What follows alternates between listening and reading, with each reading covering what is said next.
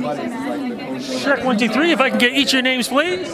Carolyn, Jennifer, Aurora, Meredith. Let's do this. Coming down in three, two, one.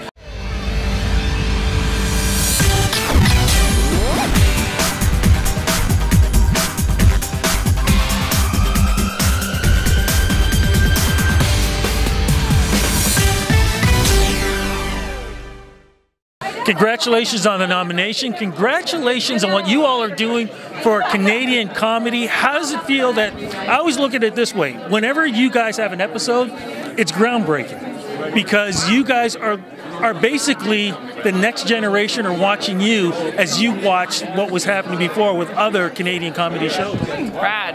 That's yeah, that's great to hear. I mean, we were talking about the kids in the hall earlier, and I remember coming home from school and my brother was watching it on our TV, like those big TVs, like you know the furniture TVs.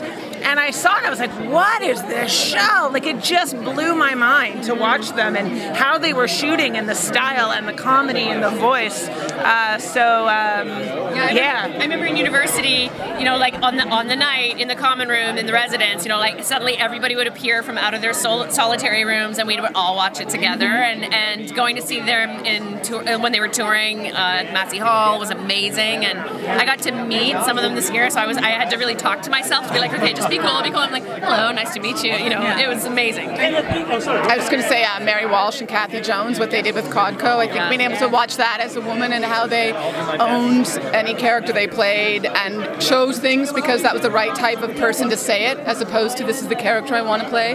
That that was really great to see that when you, when you were young as a female. Yeah. I actually used to be a. I used to work on Codco. I used to do some of the production. Yeah, I know. And at that, can you imagine that us growing up and watching that Yeah. was just like, oh god. It is, it is. And that's what I mean by everything you guys have said. Think about it.